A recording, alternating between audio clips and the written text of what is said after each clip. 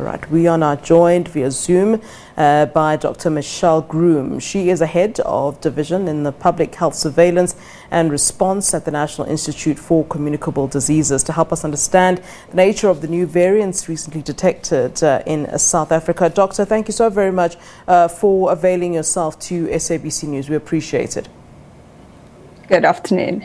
Let's start with talking about how these new variants are, are sort of detected or how they are identified and how different they are from each other and how one then picks that up. I suppose for those of us that are not uh, in, in medicine, it can be a little bit difficult. But if you, you can perhaps explain it for us, you know, in, in, in layman's terms, in yeah. terms of how different yeah. these different variants really are. Yeah. So I think what we usually do, so you know that you would go to um, for testing if you had to develop symptoms, and we would do a nasal swab. Um, and so those are sent to the lab, and we'd be able to do a PCR um, to be able to detect um, the virus. And then certain of those samples, um, and we have been specifically um, trying to prioritize sequencing of travelers that are coming in from India, as well as those um, from some of the clusters that we've been seeing lately. And so we would take those samples, and there are several labs in the um, genomic sequencing labs around the country, um, and they would take those samples, and then um, what they really do is look at the, the DNA and the genome of, of, of the virus that was taken from that individual. And so they would look at certain points along the DNA, um, and they can identify. So a mutation mutation is really just a change in some of those those DNA points um, in the of the virus. Um, and so the the part that we're really interested in is is the spike protein, mm. um, and so that is the part that our body um, will recognize and a lot of the antibodies that we are making is against the spike protein. And so there are those are the mutations that we're most worried about. So there are many many variants um, of of the SARS-CoV-2 virus that we'll be that we are seeing but only some of them are variants that we are concerned about. And yeah. so these are known as variants of concern. Um, and so what we've picked up over the weekend was was actually two of these variants of concern that haven't previously been circulating. So as you'll know the B 1351 has become the dominant variant in our country um, since about, you know, late November, December. Um, and now we've detected, as you've mentioned, those four of the B16172, um, which was the variant which was first detected in India. Mm-hmm. And we also detected some cases of the B117, which was the variant that was first detected in the United Kingdom.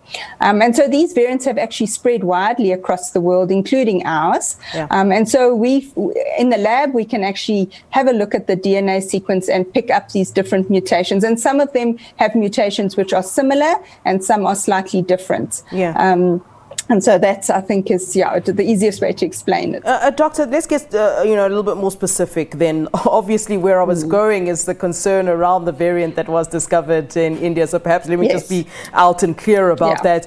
Um, yeah, you know, I've sure. heard, of course, that uh, you know this this this variant um, isn't as severe, isn't as dangerous as perhaps other variants that we've already um, experienced in South Africa. And and I, I don't know if that's you know a dangerous thing to be put out there. But certainly, this is something that you know we have been hearing, and maybe we can get just some clear uh, clarity on that in terms of whether or not you know, and, and, and, in terms of the strains, how bad or not bad is it? I mean, it, it really yeah. is you know something that is quite important to discuss as we watch, you know, what's happening in India, mm. I mean, the last couple of weeks have been yeah. really very scary for us to, to, to take yeah. note of. So one really wants to understand um, this, this, this, this, strain that has now sadly uh, landed on, on our shores.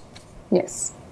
Yes, so definitely. So first of all, I think it's not the only strain that's circulating in India. Yeah. So there are these three strains, including our one that is there. Um, but I think we we actually don't know the strain that's currently circulating here. The one that we is our is our dominant one is a relatively bad strain. Mm. I mean, it's got several mutations, and we know that it's um, is is more transmissible um, than the previous strains that were circulating here. What we don't know is how it compares to this new strain that is first detected in India. Yeah. So we don't know whether it would be more transmissible, and there's not a lot of data being able to compare one strain directly to another. Um, there are some indications in the UK. They've also detected this strain that's been um, was first detected in India, um, the B16172, and there so are some indications that it is um, it is being transmitted in in several um, areas in the UK, um, and so it's too early to say whether this is going to be able to compete with the strain that is currently in our country, and and it would need to have an advantage over the strain that we've currently got. Mm. So it would need to be more transmissible, or the other way is if it could evade some of the immune system and our antibodies. So it needs to have an advantage for it to now become the dominant strain in our country. So it's really too early to say. We would need to see whether we, we're seeing replacement of our current strain. Mm. But at the moment, the strain which we currently have has is, is regarded as one of the more um, concerning strains. So so it's it's we it's we don't know whether this new one will actually be able to compete with it. All right, uh, Dr. Groome, a pleasure talking to you. Thank you so much uh, for mm-hmm. giving us all that uh, information. It's really very much appreciated here on Good. SABC News. Thank you, ma'am.